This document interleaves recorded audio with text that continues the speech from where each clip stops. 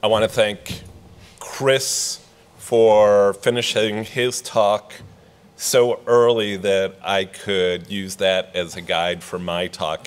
And, and Firas also provided me with, with some slides, but you know, Chris was, was really on the ball with this.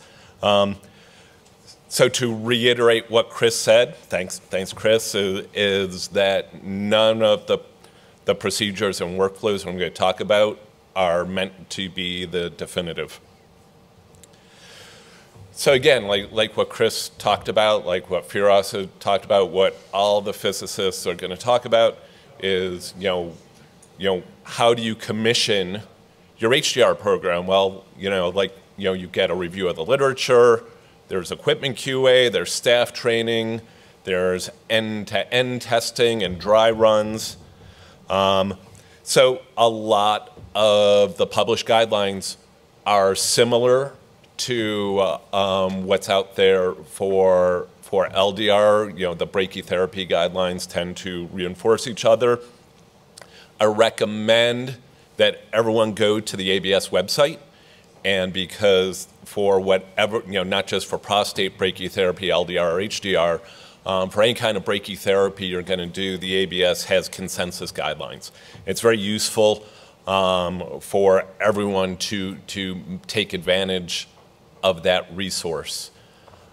In terms of equipment QA, um, you know, there's, there's what Chris talked about, treatment planning system, commissioning and QA.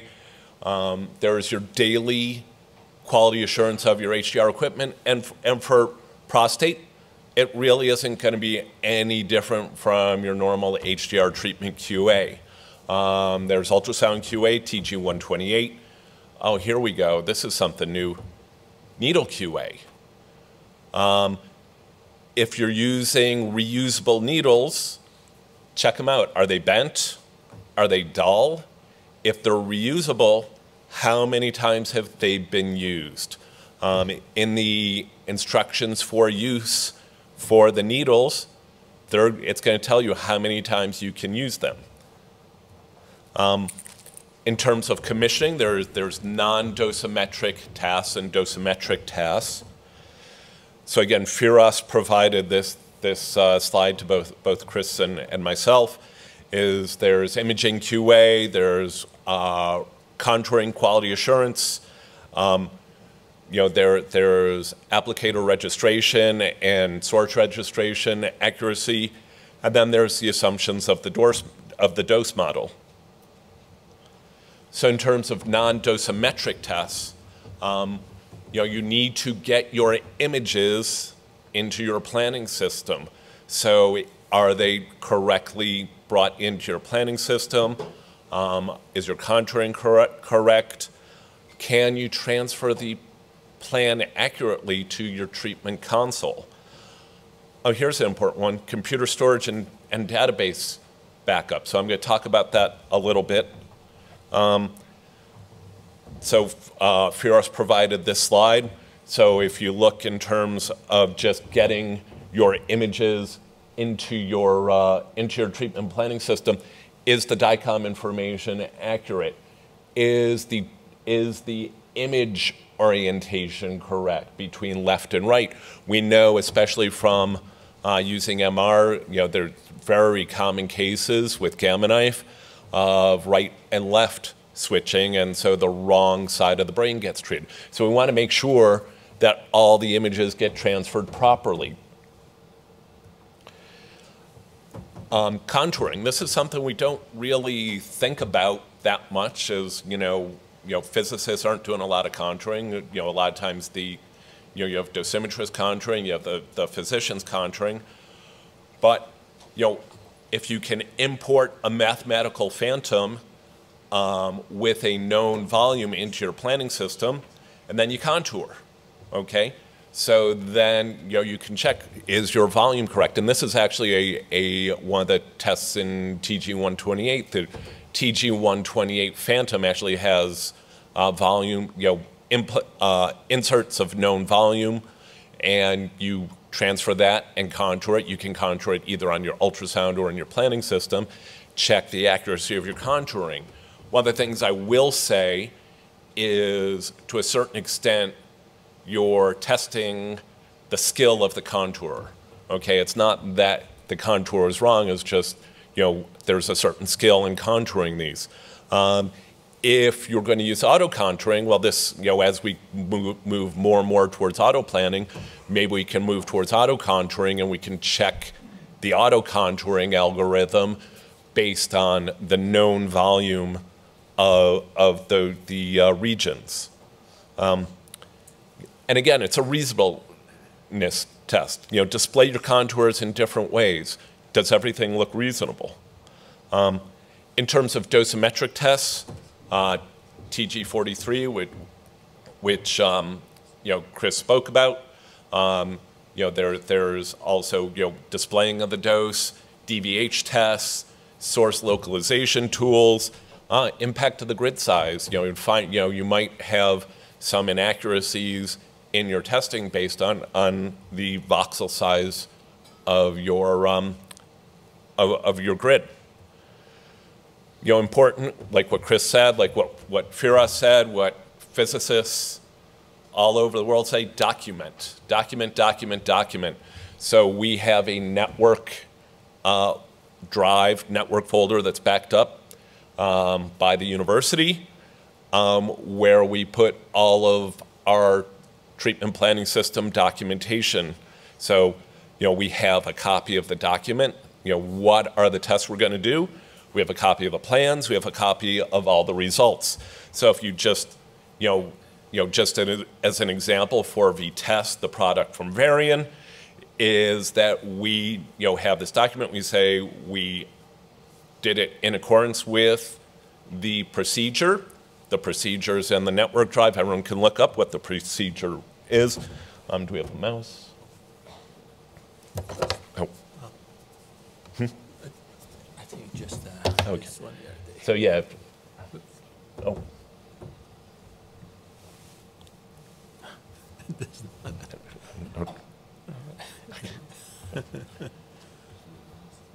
Sorry, technical difficulties. Oh, it's the, oh, it's press on that. Zoomed in now. Yeah. Uh, Okay. Yeah. So anyway, um, it might be hard to see this, but you know, Varian provides you know the test you should do, what the dose at different dose points should be, and then what the planning system, what your test gives, and so you can see, you know, we're within the maximum differences. There is 1.5 percent. Um, there's other tests from uh, in the document, um, you know, dose points at various angles uh, from your source. You get um, you know, dose volume tests where you put a source at a certain position and what is the volume of a certain isodose line. So all of these are in your procedure. Do it, document it. Um, you know, this is a slide from Firas. Is not only do you have the test of your treatment planning system, does it calculate it right, but we need some kind of independent calculation. So in this case, um, there's two sources. You can see there, there's various dose points where you determine what the uh, dose at those points are, and then you're checking to make sure that your treatment planning system and your second check software agree with each other. So in terms of other QA, um, and, I, and I think you know it's basically a lot of the other QA that we do similar to that for, for seed implants uh, or for other HDR procedures. So since Chris had pro tips, I'm going to show some pro tips. Uh, TG128 pro tip, instead of trying to you know, duct tape your phantom to the couch, stick it in a bucket of water. Um, we, you know, it makes it much easier. Uh, the phantom's not moving around. Rather than trying to get the gel to apply properly to the phantom, you know, the water um, just applies that contact. It makes uh, TG128 much simpler.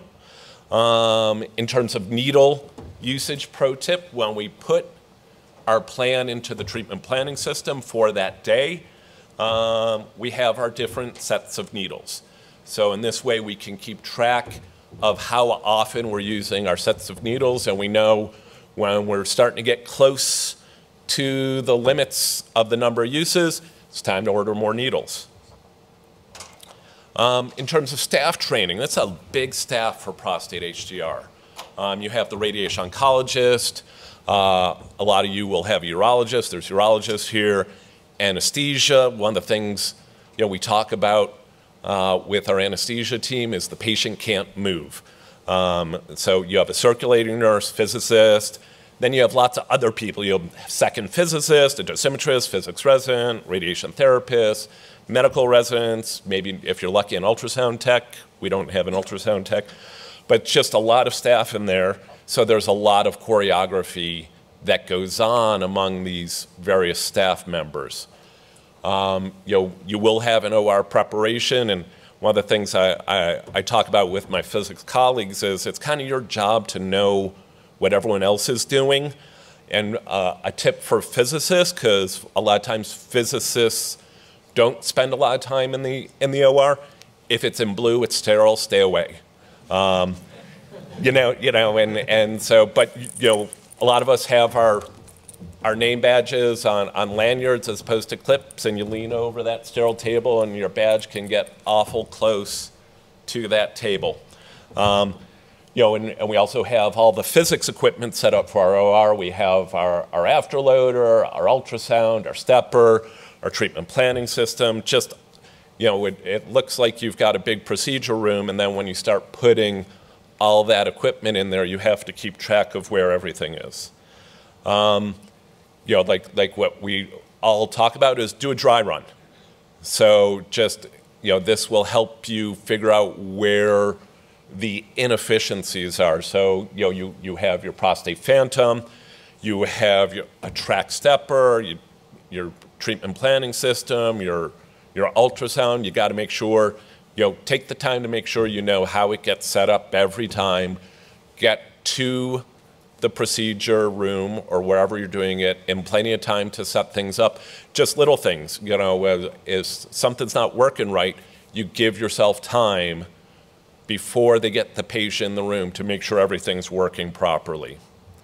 Um, in terms of imaging modalities that we're dealing with, um, there's CT, so if you look on the top, that's what titanium needles look like as opposed to plastic needles on the bottom. Uh, ultrasound, which you're going to see a lot of uh, over the next couple days, and then uh, increasingly more MR, incorporation of MR into your workflow. On the top is just doing a plan from the T2 MR, whereas on the bottom is a fusion between your ultrasound and your MR where the DIL is contoured in red, so you want to make sure that that gets covered very well. Um, you know, in terms of clinical workflow, you know, there's, there's the workflow for ultrasound-based planning. Um, the workflow would be a little bit different for CT-based planning. And I'll, I'll, say MR, I'll just put the MR-based planning in parentheses. You know, it's starting to become more common but the workflow is very similar to CT-based planning. So this is kind of our workflow at University of Virginia. Uh, once we get the patient in the room, uh, prepped, uh, ultrasound taken, you know, we capture the ultrasound. Uh, we have a urologist placing needles while the rad-onc contours. Um, uh, and then we'll adjust and, and capture the needle locations. Um, you know, then we'll do a recapture of the ultrasound because once you start jabbing needles into your prostate, you get edema, the prostate moves. Uh, we plan, the, plan it, we do our treatment QA, we treat, and we remove the needles. So that process, we have that process down to somewhere 60 to 90 minutes. Uh, we get a lot of visitors coming to us, and they always go back to their institutions and they, they say, you know, it's taken us three and a half, four hours to do it. And what I always say is, yeah, that's kind of what it took when we first started doing it. And, and now that we've done 150 or so cases, you know, we, as I said earlier, we've worked out the choreography, we've worked out who's doing what when, and you know, we through some manpower, you know, duplication of efforts, and this way we can get us get it down to a reasonable time, not to have you know, the 45 minutes of OR time that some places do for seed implants, but certainly a reasonable amount of time. I suppose, so if you look at ultrasound-based planning for HDR, um, you just have to understand, you know, the geom geometric accuracy of the images. Um, we do have a track stepper, so you have to uh, validate that. And you know, the, probably the hardest part that we're dealing with all the time is needle tip identification. Um, as you're, you know, once you've got 20 needles in a prostate, you get all these echoes going all over the place from the ultrasound. Um, so sometimes it can be hard to identify the needle tips, especially. Um, for CT workflow, it's a much longer process. So typically, you know, the needles are placed in an OR, and then you move the patient to recovery. They, then they finally come to your department. You get a CT. You have to get them up on the CT table. You've moved the patient again. Um, you have to look at your needle locations. You adjust. It might be a few iterations of adjusting the needles. Uh, while you're planning the treatment, um, you have to move the patient again off your CT scanner. Um, you do your planning QA, and then you move the patient to, to wherever you're going to treat them. Uh, if you have a dedicated suite, or if, if you're loaders in, in a Linac vault, um, you have to uh, image the patient again to make sure the needles haven't shifted. So you might have a few iterations of the adjustment again, and then you get your treatment and needle removal. So, and this can take many hours. Um, so one of the things you can think about when, you know, what's the effect of time on your treatment process? Okay, so on the, on the left, you have your, your needles going through the template into the prostate, and this is what it looked like at the time of placement. So the next time you image the patient, the prostate might have shifted. You know, the needle stayed in the same position, but your prostate shifted suit. So now your needles are not in the optimal place. You know, another thing that can occur is that you know the prostate and template stay in the same position, but your needle shifted. So now you got to shove the needles back in. Or, you know, something else that can happen is your prostate stayed in the same position, but your template shifted out, taking the needles with it. So all of these things are, are, are items you have to consider once you start moving patients around. Um, and so you can see here, um, you know, you have to develop procedures to minimize and detect um, needle, needle displacement. You know, one of the things you know, vendors provide is methods to move the patient while their legs are still up in the lithotomy position. Hope, you know, you can image, you know, you're trying to minimize um, anything that can happen that would cause the needles to move. Uh, MR-based planning, you know, we're, we're not used to uh, um, MR as much in radiation oncology as opposed, you know, especially with physicists, you know, therapy physicists as opposed to diagnostic physicists. Um, we have to understand image distortions. Obviously, you know, you have to deal with patient transport, just like with CT-based planning. And, you know, at the times of the implant is, you know, you're dealing with space restrictions.